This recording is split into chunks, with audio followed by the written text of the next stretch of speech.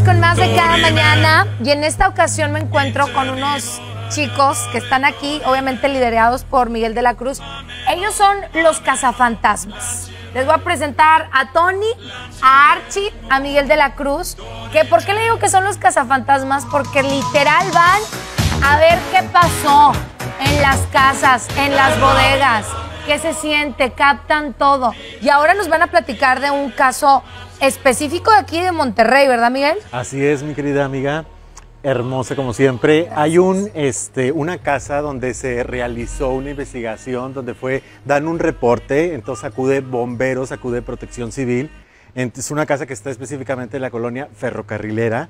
Entonces ya al ver este llamado este, está todo, entran y está el fuego, entonces un bombero dice ver a una persona este, de estatura pequeña, este, checan bien todo y este, pues resulta que, que no había nadie se quema este incendio, se ocasiona por un altar precisamente porque al parecer ahí murió una, este, una niña.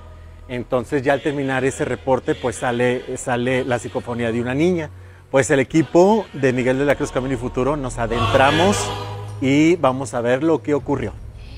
Primero vamos a ver el video y ahorita me lo explican, por favor, porque no sé si esto pasó hace muchos años. Saludos a la colonia ferrocarrilera que nos ven aquí en Monterrey, Nuevo León. Vamos a ver esto. Si no lo entienden muy bien, quédese porque lo van a explicar los cazafantasmas regios. Adelante. Hola, ¿qué tal? Muy buenas noches. Nos encontramos en otra investigación paranormal, la conocida Casa de la Ferrocarrilera, donde se han encontrado psicofonías, donde hemos visto apariciones y vamos a ver qué sucede en esta investigación. Esta casa, a diferencia de otras, no es mito. Aquí sucedió una tragedia comprobada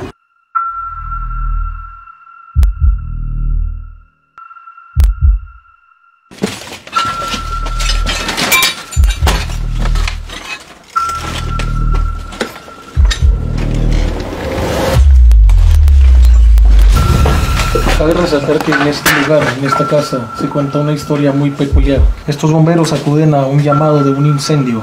Este, este incendio, eh, llegan los bomberos al lugar y lo primero que relatan los bomberos es escuchar el grito desgarrador de una niña.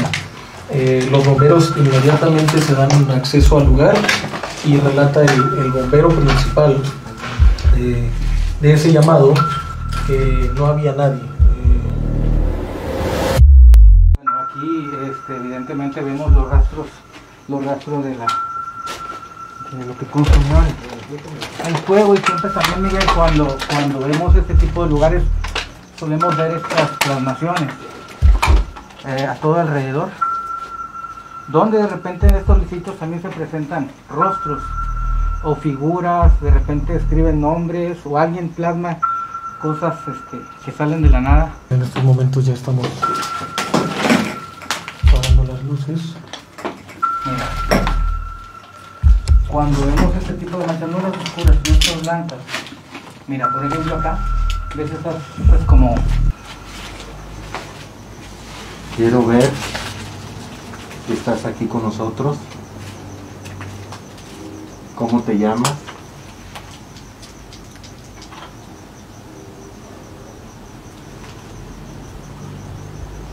¿Necesitas algún tipo de ayuda?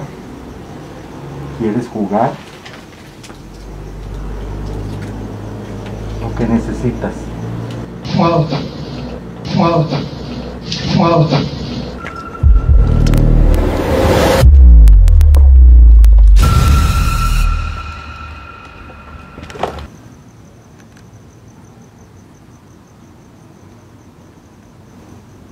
¿Estás en ese rincón?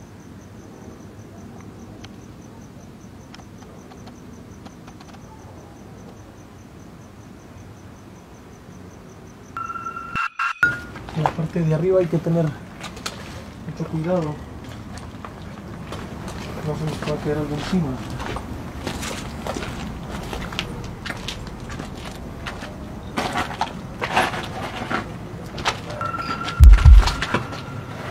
Hemos terminado la investigación paranormal de esta noche, en la cual se recopiló bastante material. Son unas realmente unas fotografías pues muy impresionantes, unas psicofonías, las cuales es- analizó mi querido amigo Tony. Hay imágenes curiosas el día de hoy, nos fuimos con unas imágenes con lo que no nos esperábamos y esto es parte de la investigación.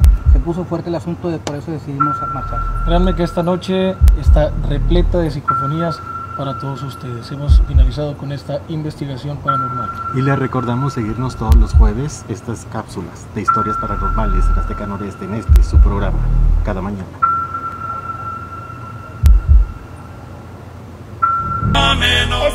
Impactada con lo que ellos me platicaron, con lo que acabo de ver. Esta casa eh, hace 15 años está abandonada por el incendio porque perdió la vida una niña. Archie, tú eres el de las emociones. Tú vas ahí, dime qué se sentía en cada cuarto.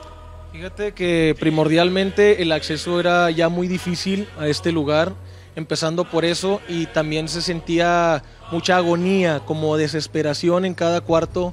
Era algo impresionante eh, todo esto que se sentía, más aparte cuando nos pasamos en, en- el segundo piso, Miguel de la Cruz es cuando ya nos dice, hay algo en la esquina, entonces eh, sale la fotografía eh, que vieron todos ustedes en la investigación, donde sale clarito la cara de esta niña. Tony, ¿qué nos puedes decir tú, que eres el que llevas este, los materiales para checar las energías? Bueno, pues eh, hubo actividad abajo, eh, arriba, bueno, en toda la casa, pero pri- primordialmente cuando dejamos el grabador en, una- un cuarto, en el primer piso, ahí se registraron muchas psicofonías que a veces no las traemos porque son demasiado fuertes los mensajes y pueden impactar mucho a las personas.